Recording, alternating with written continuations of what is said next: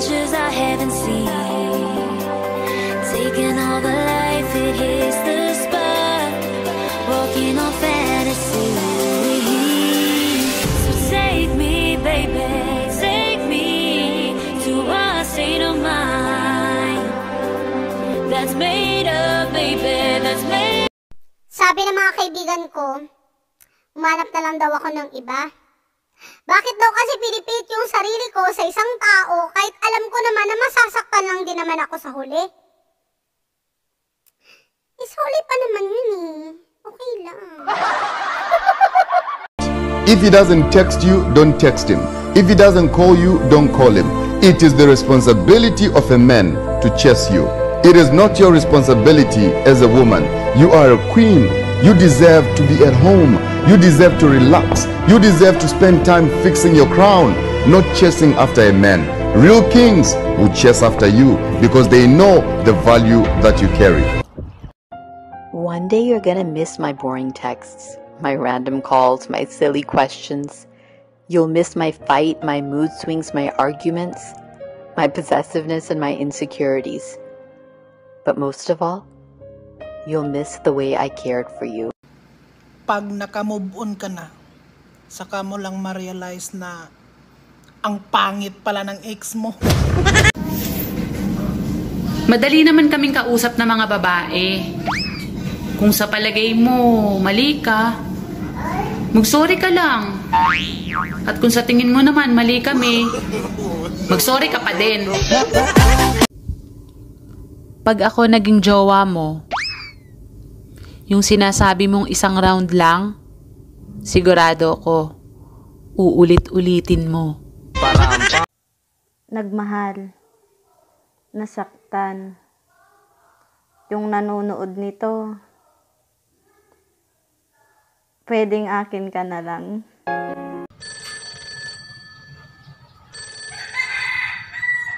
Hello. Ah, hello? Ah, pwede ba ako manligaw? Oo naman. Tawag sa akin ah.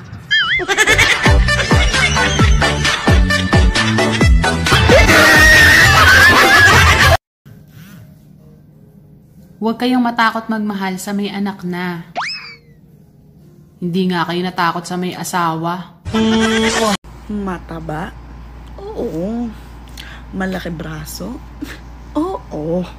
Malaki ang tiyan? Oo. Pero pangit? Never. Guys, alam mo yung masakit?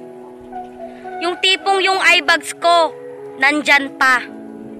Pero yung pinagpuyatan ko, wala na. Sumakabilang panty na.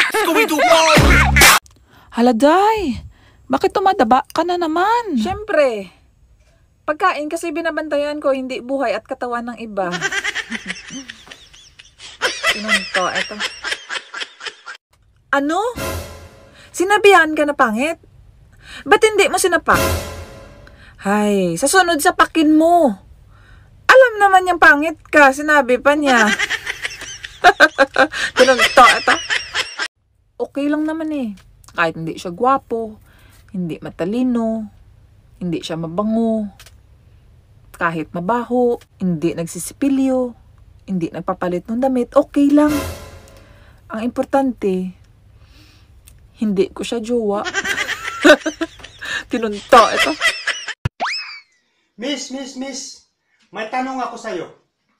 Ano ang Tagalog ng hotdog? Anong Tagalog ng hotdog? Teka, parang nasa dulo lang yung ng dila ko eh. Tsaka parang nasubo ko yung kagabi. Babe,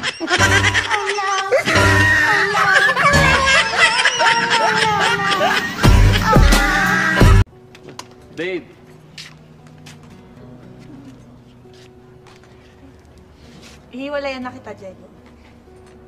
pagkatapos mong ubusin at gustahin ng pera ko, hihiwalayan mo na ako? I'm sorry, kailangan eh. Bakit? Ngayon ko lang kasi nakita na ang pangit mo pala pag wala kang pera.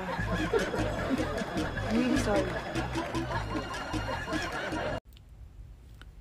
Ala, kadalasan ng niloloko ngayon magaganda. Kinakabahan ako. Tinunto ito. Hoy, Buntis ako. Ha? Love. Love, hindi, hindi pwede. La- hindi pwede, nag-aaral pa tayo. Hindi pwedeng ganito. Sabi ko na nga ba yan ang sasabihin mo eh. Kaya, kay sir ako nagpabuntis.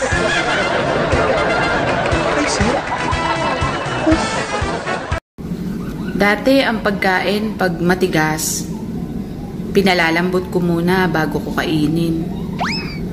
Pero bakit ngayon? Hindi ko makain hanggat hindi matigas. As in, matigas na matigas. Pamparam pam pam pamparam param pam Sumabay na sabay ang sarap sa pakiramdam Pamparam pam pam pamparam param pam Nagawa namin ito habang bilog din ang bu Hindi lahat ng binabaon, pinupukpok.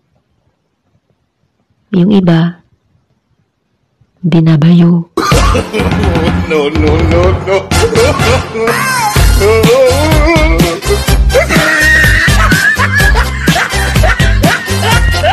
Paano mo sasabihing baby na hindi lumalabas yung ngipin mo?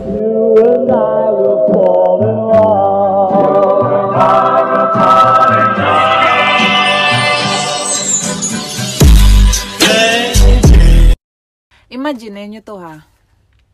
Yung mahal mo, mahal ka din niya. Tapos nagpakasal kayo, bumuo kayo pamilya. O, di ba ang saya, no? oh, gising, gising, gising na. Tapos na imagination mo. Tinunto ito. Nakakapagod maging ako. Parang gusto ko na lang maging tayo. Pag nakamove on ka na, saka mo lang ma-realize na ang pangit pala ng ex mo.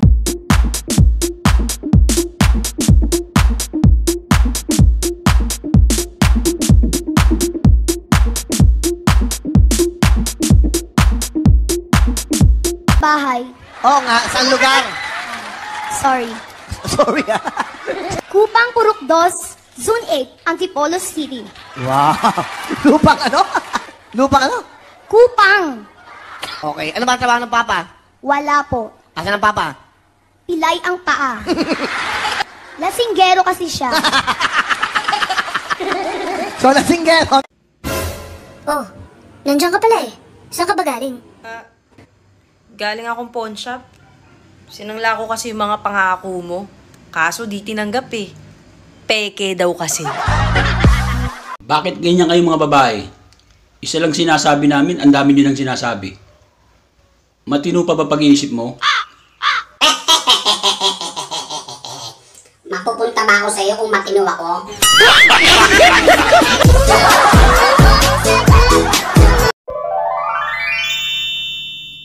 Hindi lahat ng masarap. Pagkain. Minsan, ako. Kung kaya mo kong ipagpalit sa malapit, ha, uy, kaya rin kitang ipagpalit. Hindi nga lang sa malapit, pero sa malupit.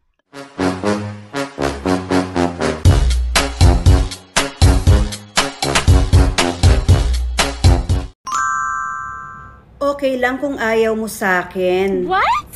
Hindi naman kita pipilitin. Isa lang ang ibig sabihin niyan. Wala kang taste.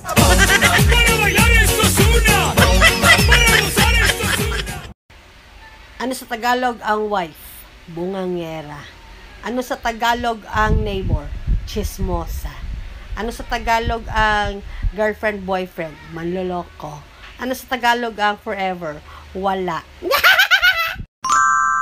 O sa mga nagtatanong dyan kung ilang taon na ako. Naku, batang bata pa. Pwede mo pang tawaging baby eh. Baby, come, baby, baby, come, come.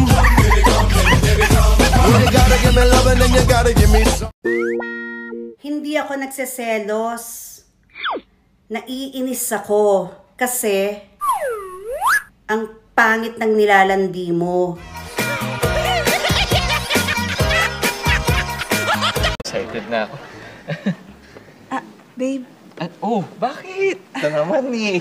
Babe, Oh, gusto kong malaman mo na dati akong Christian. babe, ano ba?